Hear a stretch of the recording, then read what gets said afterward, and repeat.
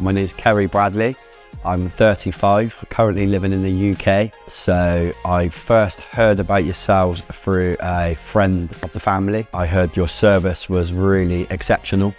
Um, like for instance, when I come here, the aftercare was second to none. Was, I thought it was really, really amazing. And the way I got treated, the way everyone was polite, everyone held themselves to me, I thought was amazing. My first had a hair transplant about two years ago in the UK.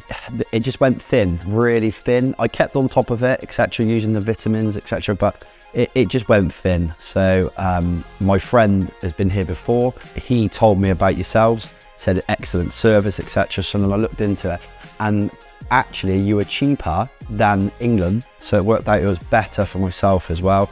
So I came here, and to be honest, what I received was really, really good, um, really exceptional. So I, I, I, can't fault you guys for nothing really. So it was really, really, really, really good. So, so it was perfect. So to be honest, I didn't feel a thing. So I was quite happy and quite fortunate like that. So uh, yeah, I was quite, quite happy with uh, in terms of the the after treatment that was good so i've really haven't had no pain from it at all the medication that was prescribed was excellent so to be honest, I'm a, it's, it's a winner all round. So I'm, I'm happy. So I'm, ha I'm happy that I chose you guys and I'm happy that I come across. When I was at the last company, I felt rushed. I was in and out within four hours. It was like quickly get you in, get your money, and quickly got rid of you.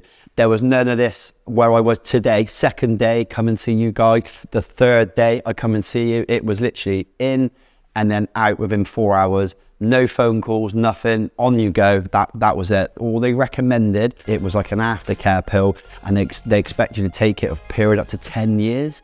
They take uh, one pill every, no, half a pill every other day for 10 years. Um, they, they'd advise us to do that, but it's, it's hard to keep up with medication like that. So, and it costs money as well. Went to you guys, and you guys said, totally opposite, said, look, we don't recommend that and looking at the circumstances of your outcomes and their outcomes of their hair, I think I'm going to believe you guys more. So, but yeah, they did recommend me some uh, medication which I didn't take, and I felt rushed from them as well. And no, I had no aftercare, didn't get no before care, didn't even get fed or nothing like that. The, the service I got here is exceptional. So my advice would be book up now. uh, clearly for the simple fact of I don't think you can have an experience like this, to be honest. I felt welcome.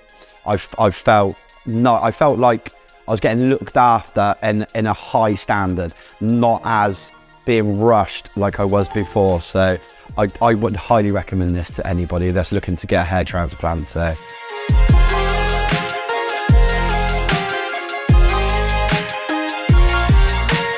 My name's Tommy Beasley, I'm 33 from Bristol. So I had my first hair transplant in London. I only had the fronts done. I had 1200 follicles to begin with. That was two and a half years ago. Since then it's thinned. The reason for a second is because I'm due to get married end of the year. I want that full set of hair. And I can tell you the customer service here is like no other. Totally different compared to where I had it in London.